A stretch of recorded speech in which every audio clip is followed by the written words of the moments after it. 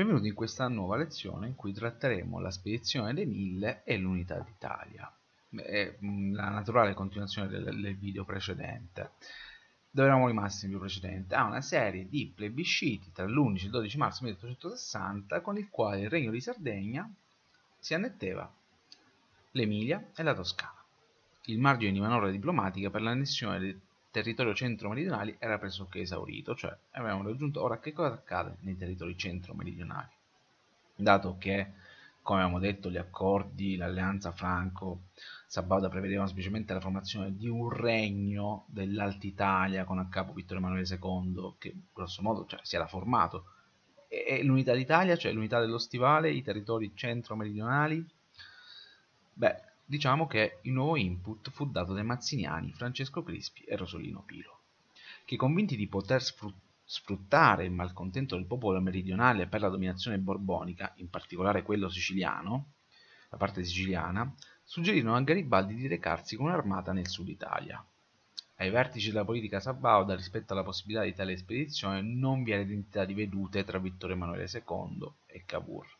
Il primo era favorevole all'impresa, mentre il secondo temeva la reazione internazionale della Francia. No? Cioè la Francia era alleata diciamo, nell'Italia, ma fino a che diciamo, questo fosse, fosse, stato, fosse, stato, conveniente. E ora questa spedizione, mandare cioè, l'idea di Garibaldi che scende mh, verso il sud dell'Italia, un po' come un cane sciolto, divide Vittorio Emanuele, l'opinione di Vittorio Emanuele II da quello di Cavour.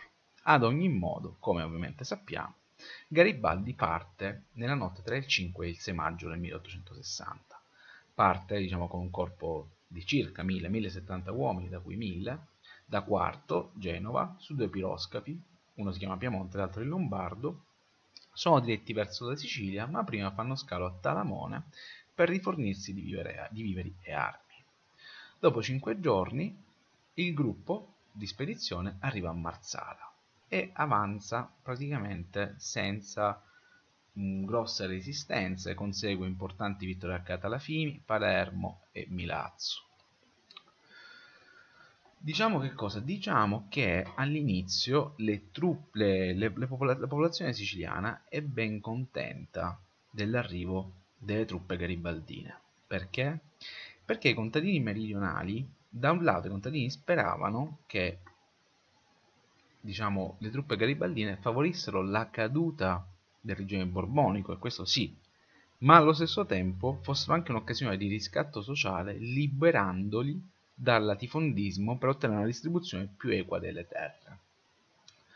Anche la classe dirigente meridionale dimostrava di gradire l'intervento garibaldino, ma per motivi opposti rispetto a quelli dei contadini. Le classi agiate infatti credevano che il regime borbonico non fosse più in grado di tutelare i loro interessi. A Garibaldi in realtà, diciamo, delle masse contadine sembrò non importar molto. Perché, perché era dell'idea che senza l'appoggio dell'aristocrazia terriera l'impresa dei mille sarebbe stata destinata a fallire, tant'è che non, diciamo, le truppe garibaldine non sentirono ragione di un'ipotetica redistribuzione delle terre. Garibaldi non era, diciamo, uno dei gracchi. E prova ne è, diciamo, quella pagina sicuramente più oscura della spedizione dei Mille, che è la strage di Bronte, che è un paese ai piedi dell'Etna. Che succede? Succede che il 4 agosto del 1860 Nino Bixio, comandante in seconda di Garibaldi, fa arrestare e fucilare 150 rivoltosi che avevano cercato di requisire le terre latifondisti per dividerle e ridistribuirle. Quindi non c'è spazio, si, fa, si cerca di unificare l'Italia ma non c'è spazio per le rivendicazioni sociali. Vedremo che in realtà poi questa eh, poca cura, questa mm, diciamo, disattenzione, questa anche repressione dei disordini sociali causati dall'ineguaglianza sociale poi porterà il governo della non Italia a doversi confrontare con fenomeni complessi come quelli del brigantaggio. Al di là di questo, eh, Garibaldi continua, nonostante i sordi in Sicilia, Garibaldi continua la sua avanzata, arriva in Calabria, poi si sposta a Napoli, che viene presa senza colpo ferire. Perché? Perché il re Francesco I, detto non si sa se per simpatia, ma probabilmente diciamo per vilipendio, Franceschiello, si rifugia nella fortezza di Gaeta. Siamo nel settembre, l'esercito sabaudo arriva nelle Marche e il 26 ottobre si svolge il famosissimo incontro di Teano tra Garibaldi e Vittorio Emanuele II nel quale il primo cede la sovranità dei territori conquistati appunto al sovrano, insomma, quindi a, a Vittorio Emanuele II. E questo sostanzialmente l'incontro di Teano, di Teano è la fine delle ambizioni mazziniane, cioè Mazzini sognava una repubblica, sognava una democrazia, beh no, l'Italia si, si, va, unif va, unificandosi, ma in realtà la forma di una monarchia e tale rimarrà per, per diverso tempo. Ehm, anche qui, diciamo, avvengono de, diciamo, avvengono dei plebisciti, questi accadono diciamo, sia nel meridione che in Italia centro, centro, centro-settentrionale e come vediamo qui sostanzialmente la stragrande maggioranza, siamo nell'ordine del 97, 94, 95, 99% di coloro i quali eh, votano questi plebisciti è favorevole all'annessione, quindi a unirsi al Regno di Sardegna i dati come al solito si trovano, diciamo, sono linkati, la fonte dei dati è linkata nella descrizione del video. Parliamo della neonata unità d'Italia. Si può parlare sicuramente per la prima volta eh, nell'epoca contemporanea di, di un'unione dell'Italia in un senso politico oltre che geografico, quindi si può utilizzare l'Italia per indicare lo Stato, non solo diciamo, la penisola italica. Proprio perché? Perché si è unificata.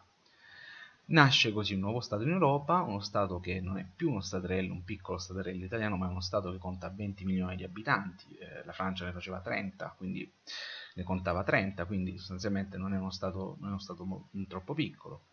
E la prima riunione del Parlamento nazionale avviene eh, 17 marzo 1861. Questo Parlamento nazionale è eletto tramite sistema censitario, cioè lo Stato si è, unito, però stiamo per vedere che le forme, eh, il suo regime non è quello che diremmo, eh, diciamo, illuminato nel senso che, per esempio, Vittorio Emanuele II venne dichiarato l'Italia per grazia di Dio e volontà della nazione.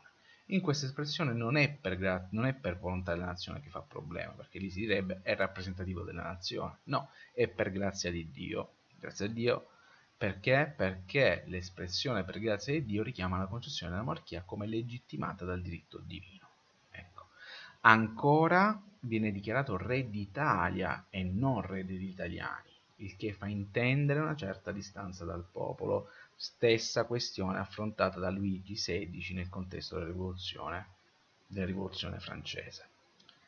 Un ultimo aspetto che ancora merita attenzione, qui diciamo che eh, è il dettaglio che conta, spesso si comprende la storia anche a partire da, da, dettagli che sembrano piccoli ma che in realtà non sono piccoli, poiché Vittorio Emanuele non cambia nome, si chiama sempre Vittorio Emanuele II, non si chiama, non, non cambia il suo nome in Vittorio Emanuele I, il che lascia intendere che egli si concepisca non come il monarca del nuovo Stato, ma sempre come il re di Sardegna che ha ampliato i propri possedimenti. Quindi non è diciamo, l'unione ideale di un nuovo Stato che doveva già doveva unificarsi in qualche modo. No, è il regno di Sardegna che in un modo o nell'altro, con un po' di diplomazia, con un po' di spirito di iniziativa, con molta fortuna è riuscito a annettersi e collegare a sé eh, la maggior parte del territorio della penisola d'Italia, anche se adesso si chiama Regno d'Italia.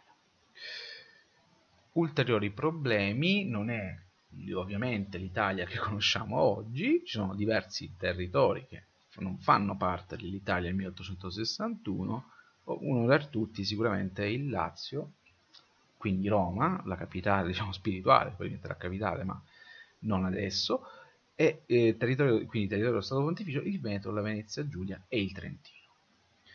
La conclusione ideale del processo risorgimentale, diciamo che si, la si può indicare con la morte di Cavour, che muore il 6 giugno del 1861. L'ultima cosa che aggiungiamo è che, sebbene l'Italia sia finalmente stata unificata, sia unita politicamente, questo non equivale ad affermare che essa sia unita ed omogenea dal punto di vista sociale, economico, culturale o di senso di appartenenza ad un unico Stato. L'Italia, appunto, famosa è la frase che viene attribuita, non si sa bene se sia proprio questa, non si sa bene effettivamente se l'abbia detta Massimo D'Azeglio, però diciamo la vulgata si dice che D'Azeglio abbia affermato fatta l'Italia bisogna fare gli italiani e proprio fare gli italiani sarà uno dei compiti di cui i governi successivi sia della destra che della sinistra storica dovranno occuparsi.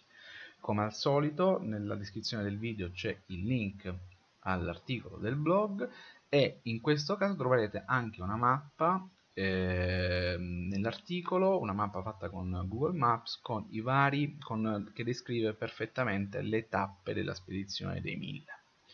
Arrivederci quindi alla prossima lezione.